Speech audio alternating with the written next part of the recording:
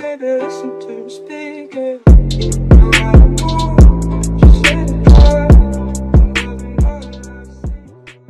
Pop, pop, pop, pop, pop, pop, Perswayable. What's going on, everybody? So this is going to be a pro perfumer guide. I would consider myself a perfumer user as well as a thief user. Um, going to show you a lot of the things to do with perfumer, her her strengths, her weaknesses, etc. And we'll also go over the persona build and what her ideal build is and why I consider my build to be better than other builds. It sounds, it sounds a little cocky, right? But uh, I just want you guys to know my, my, my train of thought with her. So, really, one of the biggest things is, is that the argument is, is that do you build her up with Tide Turner to be an additional saver, or do you build her uh, with borrowed time? And I'll show you the persona tree. And the only way, in my opinion, to really use her is with borrowed time. She's a kiter, and there's going to be moments where you're kiting or doing a five cipher kite, and you need the ability to adapt with that. And also, furthermore, you need to be healed. So, this is one persona build that I have. I like to have the increase in crouch speed, um, which I'll show you guys in a second. Um, so we're gonna ha obviously have uh, broken window, and then we're going to have borrowed time that you guys see there. So that disturbance gives you that movement speed. Um, it, it really does help if you're if you're you know trying to lose the hunter and you can you know kind of crawl a little bit or crawl off of a uh, of a cipher if you're you know putting distance and kind of confuse them. But th I'll show you the other persona build that I think is more viable if you're a newer player. And this is for people who kind of get captured a little little easier or for individuals who have, you know, who are still learning the kite, that gives you vision or your team vision. When you get put on a rocket chair, everybody can see each other. So I actually think that this is the real persona tree for, for the majority of users until you get really, really good at kiting and you don't really have to worry about being the first one on the chair as often. Um, so either persona build will work. This is the one that I would prefer for many users as well um, including myself in top rank play. If I'm playing against you know the you know the top two hunters, top three hunters, um, they're good. They can get me. So I want to make sure that when they do get me, or if they get me, my team can see each other. So this is the ideal persona build. Uh, I have other videos on personas uh, talking about each persona, but for the most part, I wanted to give you what I what I consider to be the strongest suit for for the perfumer. All right, so I'm going to show you realistic gameplay. Uh, this is a real match against a real hunter, not a custom match. And I'm going to show you how I actually play her. And then towards the end of the video, I'll show you some trick moves that you can use with her and uh, other things that you can do. But one of the things with the, the biggest question with perfumer is when do I activate my perfume? And really, you want to use perfumer as a tight kiter like anybody else. And sometimes when you activate your perfume, you're not going to be pulling off a, a miraculous sort of, uh, let's say, move. Sometimes when you're tight kiting, if you think they're going to hit you, it's okay to use your perfume. Uh, and, and I'm going to show you that in this match. There's going to be times where you're like, didn't you just waste your perfume? And the answer is no. There, there are moments when the hunter honestly could have hit me or maybe would not have hit me. The point of the perfume was for me not to find out. And if it occurred, then I can use my perfume to kind of go backwards. So I'm going to show you. So I used my perfume right there right away. I knew she was going to hit me. Right, so I'm going to continue tight kiting, all right? And I'm hugging this pallet, right? We know that that's how you counter the geisha. And I'm actually going to use another perfume relatively soon. I felt like she was going to be able to hit me here and she did not hit me, and I don't consider me wasting my perfume. Now you might say, oh, well you just wasted your perfume. No, because if that was a, a top hunter, they could have. There was a very good chance that they could have hit me there. So I want to show you. I'm showing you the unmiraculous gameplay where sometimes you're just using your perfume and it doesn't panel out. I think one of the problems with perfume users is that they try to become too conservative with their perfume. They're trying to wait for the perfect moment to use perfume. You can't do that. The point of perfume is to make you avoid hits. And so when you're tight kiting like this, and this is what tight kiting and pallet looping is, um, you really don't want to take that hit. There's if you take a hit, it's because you misjudged your perfume. You were being too conservative with the perfume. And I'm going to also show you other times when I do miraculous sorts of saves and I use manipulation depending on whether they're using confined space. But I'm showing you the typical game. This is a typical game with me using perfumer. And like I said, there's going to be moments where your perfume makes you do some sort of awesome sort of montage like video. But most of the time it's unmiraculous uh, things. It, it, sometimes you use it, and like I said, somebody could have looked at me and said, "Oh, well, why did you use your your perfumes? You just wasted them." No, because again, and I'm going to really emphasize this point. At any point in time, she could have hit me, and I made sure that if that happened, I could continue. Because my job right now is to live as long as possible. She is an early game character, right? So the difference between her and Magician, a lot of people say who is better. Magician's better late game. Magician is hands down better late game because he can actually use his illusions to help him get away late game.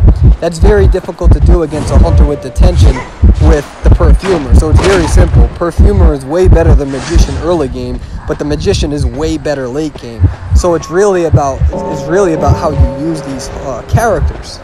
So uh, if you pay attention, you'll notice that typically, so she teleported off of me. Really, there's a few things I want to emphasize with the videos that you guys just saw, or the video that you just saw. Um, one of the things is, is that she is a confined area kiter. You don't. You want to stick to those tight areas. You want to stick to the pallet. You want to stick to looping, and you want to use your perfume ideally when you're looping. And that's the best way to use her because if you are hit, then at that point you can just use your perfume and you're on the other side of the loop and you give yourself some distance.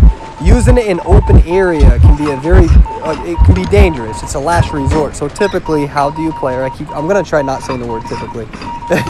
uh, a lot of people ask, how do you play her? You play her by playing in tight kite areas and you play her looping.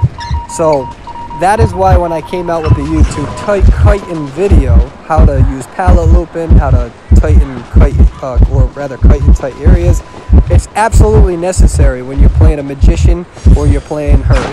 Um, so again, one of the things I want you to also notice is that when I'm playing the geisha, I throw the pallet down and I wait. Now you see right there, one of the biggest things that people don't understand about kiting is that when you go through a pallet, you immediately need to hug the wall. If you've noticed, every time I go through a pallet, I don't just keep running straight. I immediately take a sharp turn and I'm hugging the wall. And that is how I'm able to avoid a lot of her hits. If you just run straight, then it's going to be a disaster for you. And if you just run straight, then she's going to be able to dash. So it's a hard counter to Geisha, where once you go through a pallet, your main priority is to make a sharp hook. You need to hook, you need to hug that wall for two reasons. If she tries to attack you, she's going to hit the wall. If she tries to dash you, she's not going to get anywhere. Her dash, so make sure you rewind that gameplay a little bit and really pay attention to my, my kiting movements there, where whenever I'm going through a pallet, I'm immediately turning to the side. And if they try to dash me, then their dash isn't going to go through the object. And if they try to hit me, they hit a wall. And that's really how you have to do it. Don't just keep going straight. You're going to give her enough room to dash through the pallet or dash through the open area. You really want to keep that circular motion going. Now I'm going to show you some other times where I use the perfume in more miraculous ways, whether it's to save, whether it's to trick the hunter. But I really wanted to do this guide as realistic as possible. This is the sort of perfume use you're going to use. Sometimes you have to use it and you're going to feel like you're wasting it, but it's better to do that than, the, than to not use it and get hit. So here I'm going to show more of a, a trick shot. Uh, it's not a trick shot, but more of a trick move with her. So I obviously like to kite the most on my team. Uh, that's how I was able to climb to the top leaderboard. So I like to be in this dangerous area. This is a dangerous area in, in, in the church. Uh, well, relatively dangerous area. So this is why I'm just kind of being dumb and I'm just standing here. If you're new to the game or you're still learning, don't use this machine. But I have two exit strategies. I have the window that I'm looking at and I have the wi uh, another window behind me. So it's to really depend on where he approaches me. Two main exit strategies here.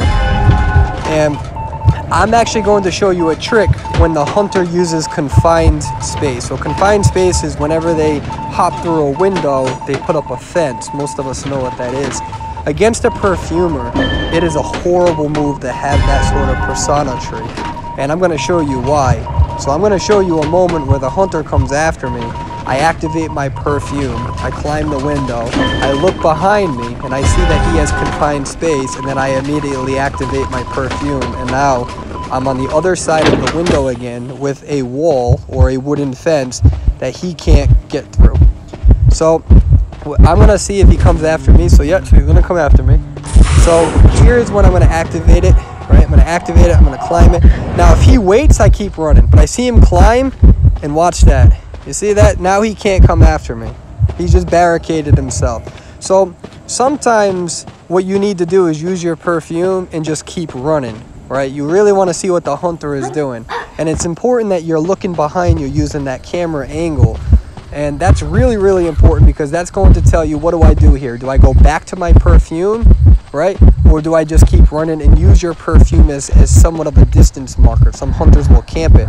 And some perfumers, they feel obligated to always use their perfume and, and to use it to its full potential. Don't do that. Sometimes you're going to waste your perfume if you if you think they're going to hit you and then they don't. That's okay. It's better to be safe than sorry. Uh, Like I said, the biggest mistake that perfume users do is they try to get fancy or they try to be too conservative with their perfume. You have three of them. There's never going to be a perfect time to always constantly use them. Use them. If you think that they're going to hit you, use it. And if they didn't hit you, great. But if they do hit you, then now you can take the shot. So do not be conservative with the perfume. That is a rule. going forward, that is a rule. And then, of course, I'm going to show you, as, as you can see, I'm just kiting normal now, right? Just kiting like a normal player. And I have run out, I think I have one more perfume that I can use. So I'm going to see what he does here. He decides to follow me. And just really put that distance between him and I. And right here, I know I have another perfume, but I know that he's wasting his time. So the exit gates are open. Sorry about that. My dog was barking. I figured I should leave that. So again, you're going to see me do this trick. I know he has confined space and he's really tunneling me right now. So I'm gonna use it again, right? Even if I don't know if he's gonna come, right? So, okay, I'm stuttering. I know that he just hopped, and we're gonna use that. Now, you could make the argument, why did you go back? Well, I went back because I knew that my team unlocked this door over here. Um, if you didn't use, or if I didn't use my perfume right there, it still would have been okay because I still had my boost. So I was able to put a lot of distance between him. But I know that he had confined space, so I decided to just go back and easy exit from here. So I'm going to show you another clip. You're going to actually think this is useless, and it kind of is, but I want to really emphasize. So here I am, I'm running in here. I wanted the body block, and so I used my perfume just in case he decides to hit me. Right? He decided not to hit me, and he decided to use his blink. So you may say, don't you feel like you just wasted your perfume? No. The point is, is you don't want to be conservative, all right? Especially with your perfume. It doesn't mean just effortlessly use it or needlessly use it, but you, you, need to use it in moments where there's the probability of him hitting you. And sometimes it, don't think you're wasting it. So here's me doing a rescue. I'm going to show you how I do my rescue. Um, this is a nice easy rescue, but then I make sure I body block. So I body block and then I use my perfume and then I make him hit me again, right? So I was able to body block, I was able to rectify, uh, render it as obsolete with the perfume and then he hit me once. That's still successful. My coordinator was able to get away. And that's what, now watch this. He's going, I'm a one hit kill. Watch me use my perfume when he charges me and use it. Watch this. Use it. Boom. See how I made him miss? And you have that capability with perfumer. And it takes a lot of practice. And the main thing that you need to do is you need to really make sure that you're looking behind you whenever you use a, your perfume. I'm a one-shot kill.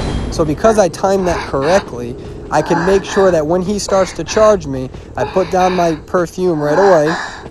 I, you have that one second delay, and then you activate it again, and he'll continue running forward. That is the only way that you can use her ability uh, end game in order to avoid dying. Although with detention, um, it wouldn't be a one-shot kill if the rocket dash hit. But I want to show you some more footage of uh, other things as well. So here's another quick snippet. She's running after me, and she charges me and she knows so my teammate is down so i'm just trying to harass a little bit so i put my perfume down she hits and then see how i'm i now if i wanted to i was hoping that she would come towards me that's why i ran over here um, but she didn't follow me and, and i was hoping that she would kind of tunnel in on me so my teammate could heal now i'm going to show you one of the my pr- probably one of my most favorite moments ever like ever me of being perfumer. So my teammate goes down i'm like you know what? I'm gonna go and try to rescue him. This is one of my proudest moments. Shout out to 12 so i'm gonna eh, make sure I put a little bit of space between me and her and tight kite, harass her a little bit by pretending I'm healing.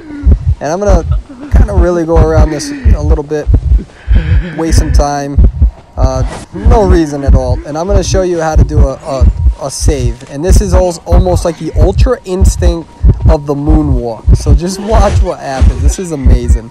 So what I'm gonna do is I'm gonna wait here, right? And you know, we'll just see. We'll be a little patient, see what she does, see if she makes a move. She doesn't want to make a move, so I'll have to make my move.